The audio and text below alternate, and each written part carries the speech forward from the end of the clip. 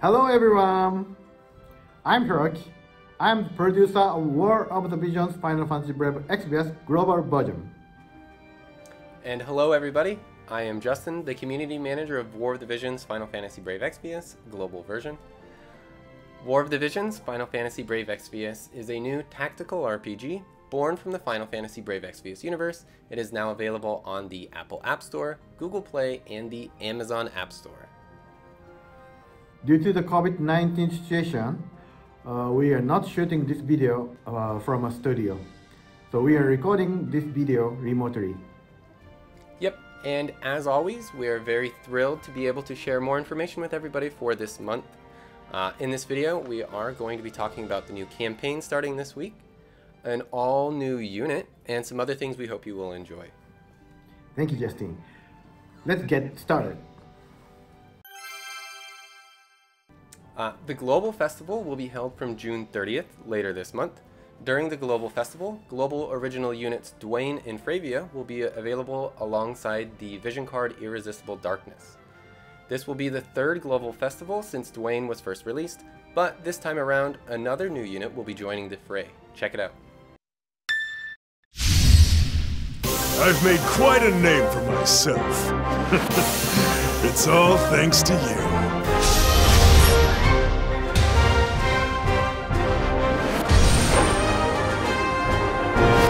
Now none can best me in battle. I'm Zazan the Unkillable. I've come a long way. Remember the name Zazan. I am unkillable! Am Zazan! War of the Visions. Final Fantasy. Brave Exvius. Yay! That's cool, yeah. Now, the winner of first prize place in the character popularity poll, Zazan the Unkillable. He has been getting a lot of attention since his design was released. Now, let's introduce him. Zazan the Unkillable is an Earth-type UR unit with a cost of 100. His exclusive main job, Undying Fighter, is a Vanguard Striker class job. In addition to KO recovery and evasion boosts, this job also features abilities that can deal high damage. His subjobs are Viking and Paladin, which are both also Vanguard class jobs. His Limit Burst, Undying Rampage, deals a large amount of damage to the target, significantly raises his own max HP for 3 turns, and recovers the amount of HP raised. His ability, Fake Death, allows him to come back to life one time with a small amount of HP after being KO'd embodying his nickname, the Unkillable. This is a versatile ability that can be put to use in all kinds of situations. Backbreaker deals a large amount of damage to the target and has a chance of inflicting Disable for 3 turns when attacking from behind. Opponents inflicted with Disable cannot perform any actions besides movement. Especially in PvP, this move can help you turn the tides of battle in your favor. If anyone is going to be sly and make sport of opponents from attacking from behind, it's Zazan. Triple Split raises his defense piercing rate before dealing 3 hit medium damage to the target in a manner similar to the ninja ability Dream Within a Dream, and it is able to deal high amounts of damage through the application of the debuff prior to attacking. Moreover, it can be enhanced to Triple Split Spinal Blow after unlocking Zazan's EX job, allowing it to raise his defense piercing rate before dealing 3 hit large damage to the target and guarantee critical hits when attacking from behind. With guaranteed critical hits to amplify the large damage of each strike, this ability can inflict serious amounts of damage. His Master ability, which enhances all fellow Earth-type attackers, raises Earth unit allies' max HP by 10% and adds 15 to their Earth attack. Additionally, it raises Zazan's own slash resist piercing rate by 20 and evasion rate by 5. The all-new Zazan with his high firepower, ability to return from the dead, evasion boosts, and strong attacks will undoubtedly shine on the front of the battlefield. This Zazan is a really great unit. Uh, some players might think it is difficult to train a cost 100 unit, but uh, there are summons with increased drop rate and Global Festival medals to help with the, his training. so please check everything out. We will also be releasing training challenge missions for Zazan the Unkillable. These challenge missions will provide Zazan the Unkillable unit shards and other items useful for training him, so be sure to make use of them. Next up, EX jobs for Fryevia and Duane will be released as well. First up, Fryevia. Her main job, Spellblade, will be enhanced to Spellblade Guardian. Together with her sub-jobs, she makes for a solid magic tank with recovery capabilities.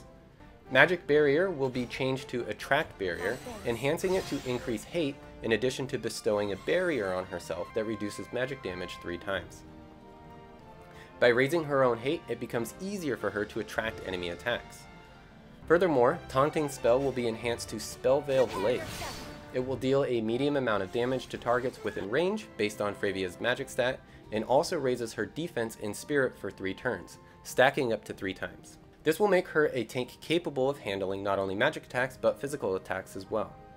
What's more, the support ability Providence of Wind will be enhanced to Wind Spirit's Ward. This ability originally raises magic attack resistance and wind resistance, but after enhancement it will additionally raise slash resistance as well. With this, she will become stronger against slash attacks, thus becoming a more capable Vanguard tank. With enhanced defense, spirit, and slash resistance, along with the ability to draw enemy attacks by increasing her own hate, the new and improved Fryevia is a unit to look forward to. Moving on, the Vanguard striker Duane will also become stronger with his EX job. Upon unlocking his EX job, Duane's main job, Dark Knight of Remorse, will become Abyssal Dark Knight. The new ability Armor Crusher will be added. This ability lowers the target's slash resistance for 3 turns before dealing a medium amount of damage, making it a powerful ability that allows Duane to inflict damage on units even if they have slash resistance. Moving on, Darkness will be changed into Eternal Darkness. Eternal Darkness destroys any barrier that reduces physical damage on a target before dealing a medium amount of damage to targets within range, and it also has a chance of inflicting Disable for 3 turns. With this, the ability now destroys physical barriers before dealing damage. By destroying any barrier that reduces physical damage on the target, this ability is guaranteed to inflict damage in addition to being capable of protecting the rearguard by inflicting Disable. Next up, the support ability Knighthood will be changed into Paragon of the Knight. Since it raises not only defense but also slash and pierce resistance as well, Duane will be capable of dealing with even more units in battle. Cutting into the enemy line and making use of debuffs to protect one's allies is unmistakably a unique fighting style befitting of the Dark Swordsman Duane. And moving on, starting on July 7th, the story event Silence of the Songbirds will be released. It is a storyline set before Ramada joined Leonis' 2nd Division, Calum. The equipment item Spine Blade, obtainable from the event's high difficulty EX quest, boosts the wielder's defense piercing rate, making it a versatile and incredibly useful weapon. Equipping it to Duane would probably have some fearsome results. Please be sure to give these quests a try. And that concludes our introduction of the Global Festival units. So much Global Festival unit information and there is still more new info to come. Next up, we have the release of Kitone's EX job. Upon unlocking her EX job, Kitone's main ability Ninja will be changed into Ninja Mist Shadow. With her EX job, the new ability Debilitator will be added. This ability deals a minimal amount of damage and lowers the target's healing power and unit attack resistance for 3 turns making it an effective move against units with high stamina and healing power. Additionally, Utsusemi will be changed into Utsusemi Shadow. The effects of raising Kitone's own missile and magic attack resistance for 3 turns will be added to the move's original effect of significantly raising her evasion rate for 1 turn. By raising her missile and magic attack resistance, it will become easier to gain ground on long distance attackers. And finally, Shadow Runner will be changed into Way of the Swift Shadows. By raising not only agility and luck, but also acquired AP and unit attack resistance, it will be possible for her to unleash powerful attacks in succession. Through not only lowering opposing units' healing power and unit attack resistance, but also raising Kitone's own unit attack resistance, missile resistance, and magic attack resistance, her relative durability increases. With her high agility and movement as an evasive attacker, Kitone's improvements are worth looking forward to. Okay, uh, this time we prepare a battle movie, so please take a look. Oh, so cool!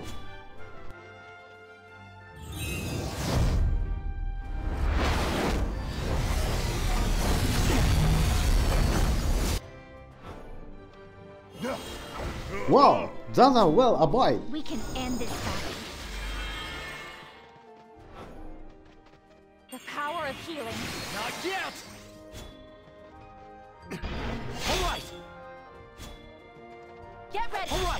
Wow, nice chain.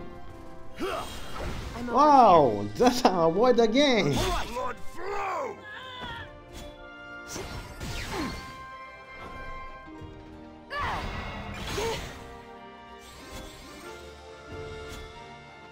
Get ready. So powerful. Oh, here. Well avoid too.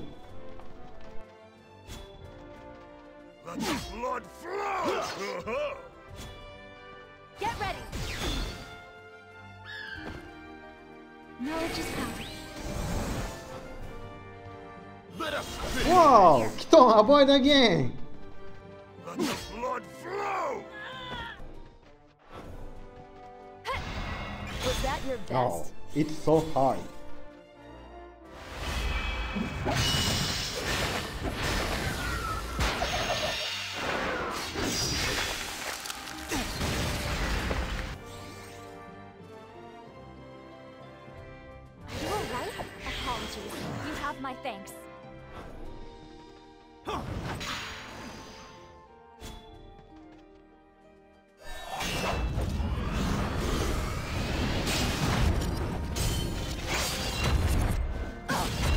Wow, so powerful attack.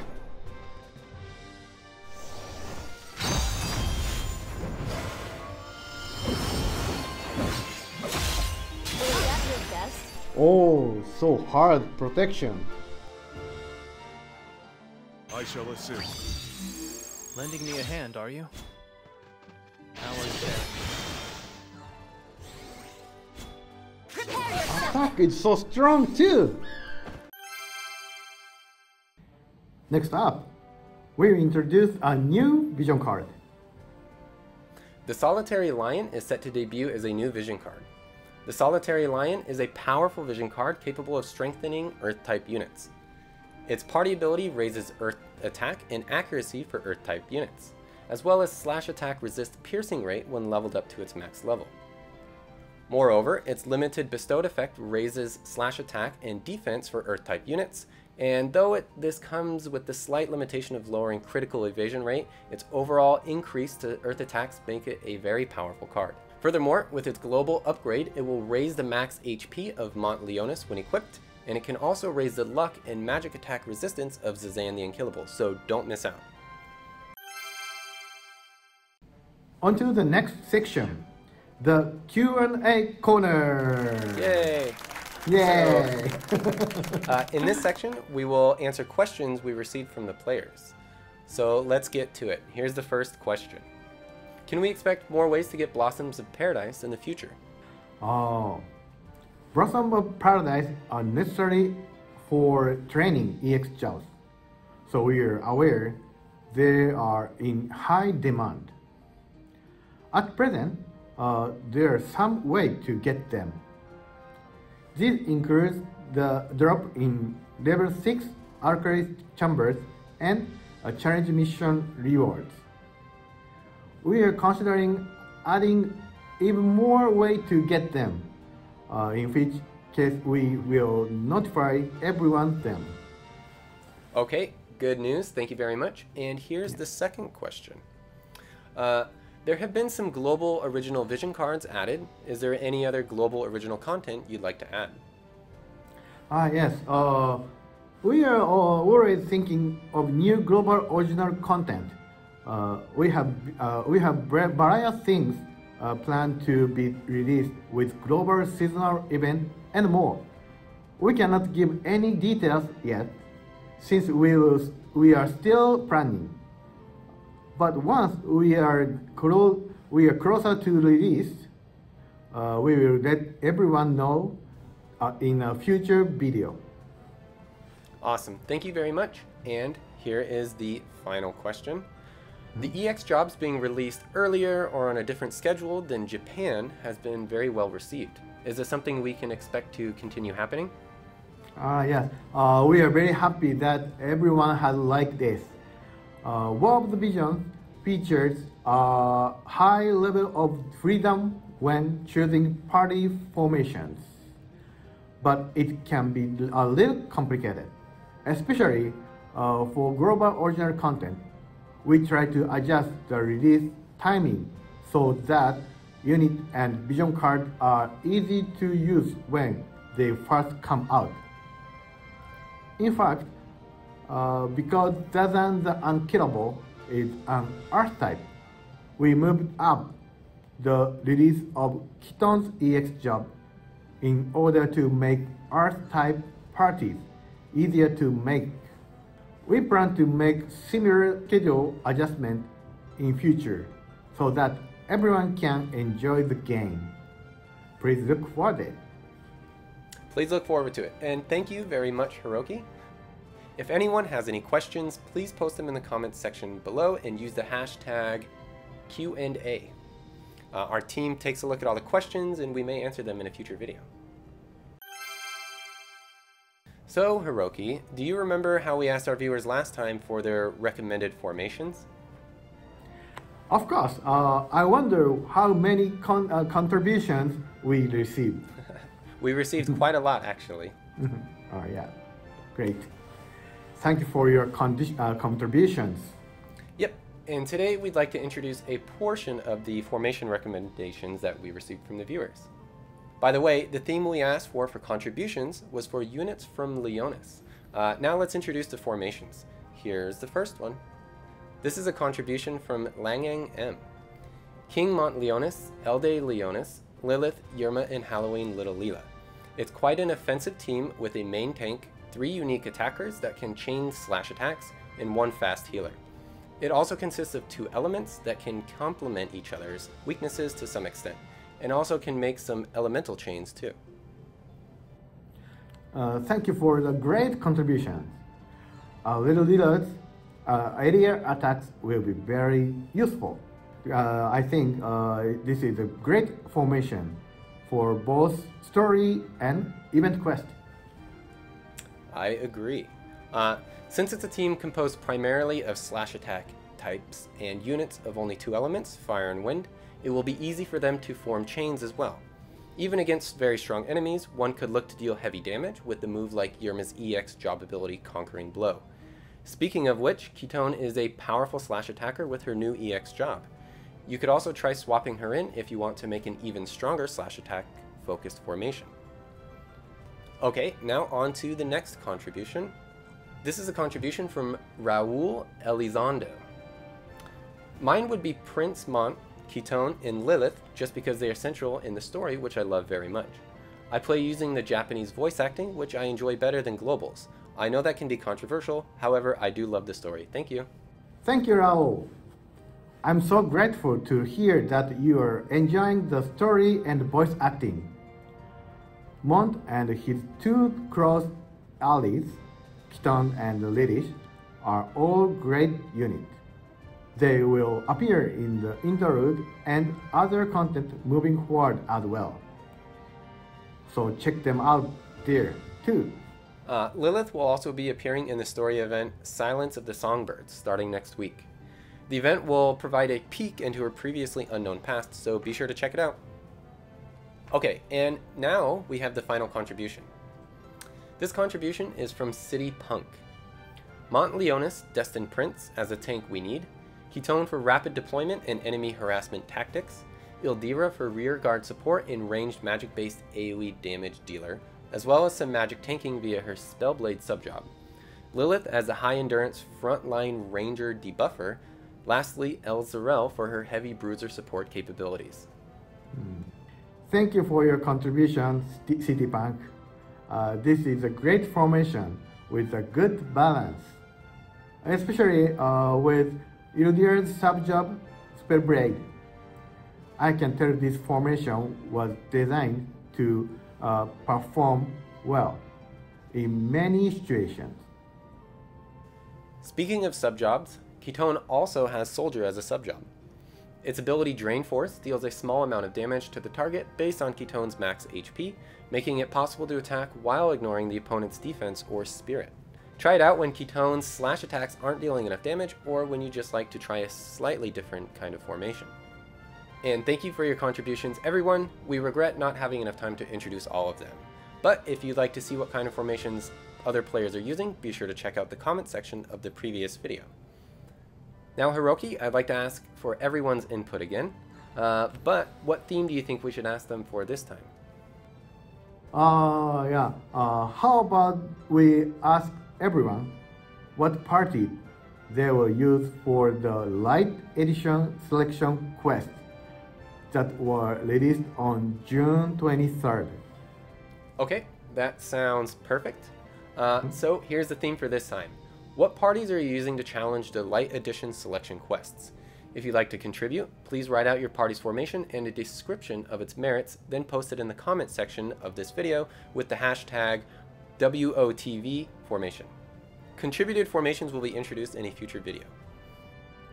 We look forward to seeing everyone's contributions. Yep. Alright, and now we have one more announcement to make. On July 14th, a War of the Visions community livestream will be held on Square Enix's official Twitch channel. I heard that you will play with the influencers. By the way, uh, what kind of live stream is it? Uh, that's right, this is a live stream in which I will be the main host and the main speaker. Uh, some influencers will join the live stream and we'll take on events and discuss strategy together. In addition, we'll have presents prepared for all the viewers, so please be sure to check it out. Details, of course, will be posted on social media at a later date, so be on the lookout for those, and I hope to see every single person there. Okay, so time is almost up, but do you have anything you'd like to leave the players with before we finish, Hiroki? Yeah, I'm glad you asked. Uh, as is custom, we will give everyone special items to celebrate the release of this video. The details will be shown on your screen.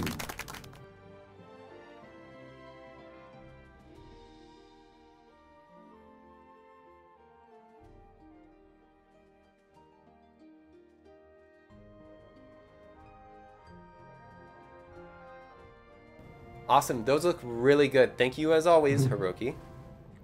We hope to see you again for next month's video. Yep, so make sure to tune in, and thank you everybody for watching this episode, and without further ado, bye bye! Bye bye!